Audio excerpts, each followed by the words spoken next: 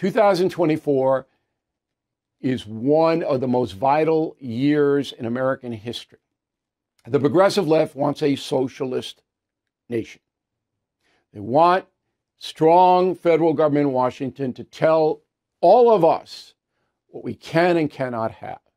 The way you get that is by passing a so called wealth tax, where the government comes in to your life and evaluates everything that you have, takes a piece, even after you've paid your income tax and every other tax they slap on you. And not only do they take a piece of what you have, they take a piece of what you've gained on paper. So if you bought Apple at a low price and now you hold it, you have a profit on paper from Apple stock. But you haven't gotten the money because you're holding the stock. You think it'll go higher. Government wants to come in and take a percentage of the paper profit. Okay, wealth tax. If Apple then crashes and comes down and not worth as much as that when the government took whatever they're going to take, you don't get a refund. You don't get anything back. If a wealth tax is passed, no one's going to invest in anything. That would just crash the economy, which is what the progressives want. They want the private marketplace, capitalism, to blow up so they can replace it with socialism. This is what it is.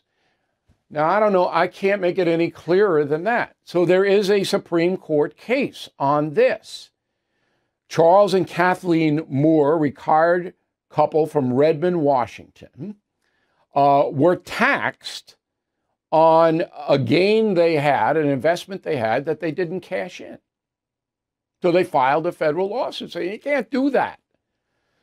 The Constitution says this quote, Congress shall have the power to lay and collect taxes on incomes from whatever source derived without apportionment to the several states and without regard to any census or enumeration. The last part of that means that there's no wiggle room, that Congress and the federal government can tax your income, money you receive, real money, income, not that you might receive, that you have on paper. No. Now, this is in front of the Supreme Court. It will be decided next June.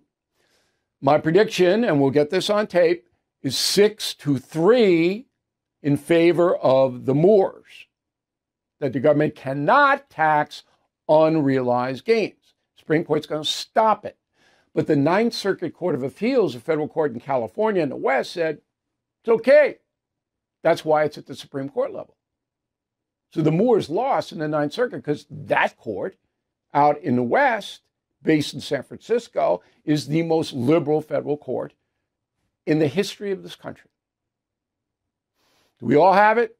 If you have any other questions, very important that you understand the big picture here, what the progressives want to do. All right?